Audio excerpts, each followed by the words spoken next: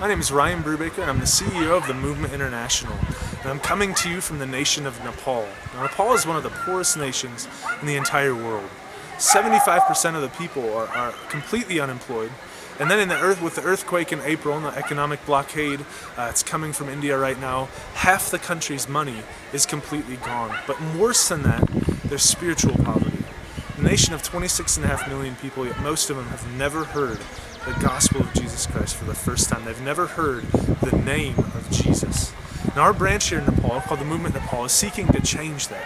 We're strategically planting churches in those villages that have yet to hear the gospel. We have about 200 churches right now within our first six months that are that are preaching the gospel to these people who are hungry for it yet have never heard it. We're talking Buddhists, Kirantis, Hindus, Muslims. We're reaching these people quickly and effectively with the gospel of Christ.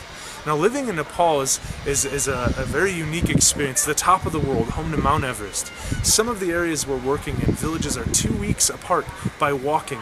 You have to walk for two weeks in between mountains just to get to the closest village. It's one of the most remote areas on the planet and also one of the most poor places on the planet. Uh, it's also spiritually. People are hungry to hear the gospel for the first time. Now, we want to thank your church because we know you are, are, are, going to partner with us to reach the state of Mahakali. Now, Mahakali is what is the forgotten state of Nepal. It's on the very far west of the country. It's the last country of Nepal, and, and it's completely overlooked. It's one of the poorest sections, not only of Nepal, but of the entire world. It has It ranges from the, the flatlands in the south to some of the highest mountains in the world in the north. And you are going to make it possible to plant thousands of churches and reach those people with the gospel. Just, just through your partnership, you're going to be able to give uh, about 4 million people access to the gospel for the very first time. A church in their own village, in their own language, in their own culture. You from Portland are making that possible. In a few minutes, you're going to meet a great man named Pastor Paul. He's your coordinator for Mahakali that you'll be partnering with, him and his pastors that he's raising up and training to reach that state. So we want to say thank you during your missions week this week.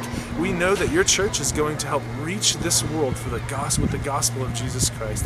So we will be praying for you. We're excited for you, and we are very thankful for your new partnership. Hello, Bethel Church. Uh, I'm Pastor Paul Suba. I'm the Far West uh, coordinator, and uh, great to meet you.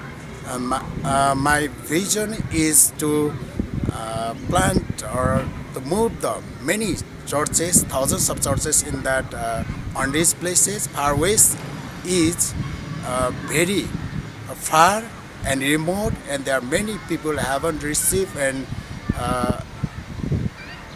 they heard the gospel of the Jesus Christ. So we want to that extend the gospel of the uh, kingdom of God in that place and all over the nation too.